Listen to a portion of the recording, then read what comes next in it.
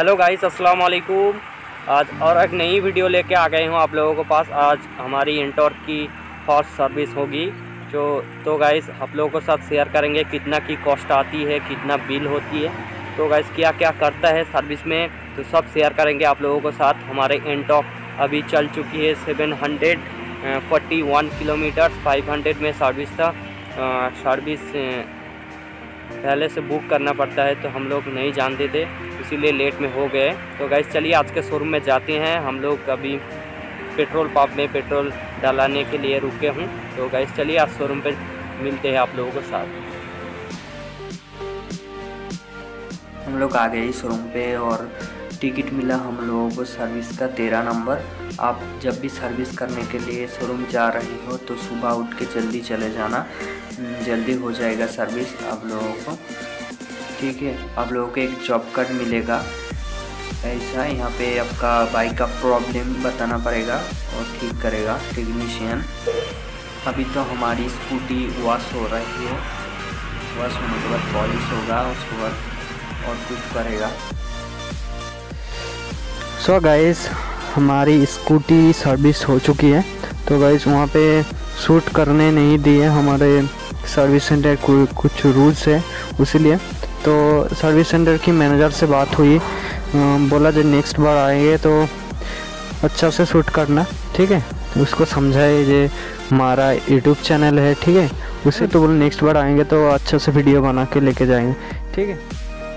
तो गाइज़ हमारी T V centre की सर्विस कॉस्ट पड़ा three hundred forty rupees only engine oil का चार्ज लगा और कुछ नहीं लगा। तो टी की सर्विस सेंटर का बिहेवियर अच्छा है।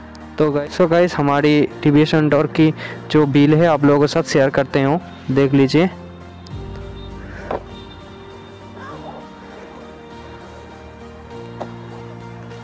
एटी इंटरप्राइज शोरूम का नाम है टीवीएस ये है हमारी आज का बिल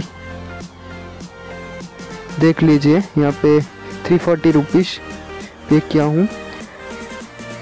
देख लीजिए आप लोग।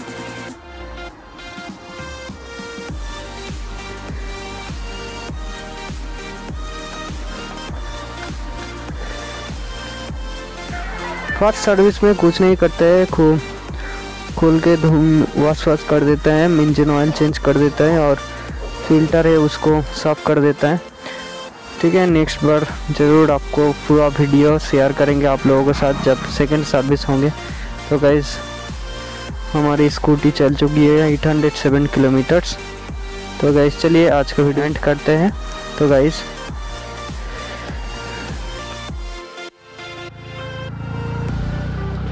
सो गाइस जो टी वी एस की प्रॉब्लम था, सारी प्रॉब्लम सॉल्व हो गई।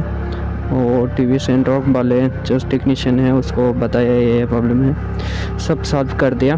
तो गाइस आपको बताना होगा उस लोग को जो सर्विस करते हैं आप लोग, आपका स्कूटी तब भी आपका स्कूटी सॉल्व होगा, ठीक है?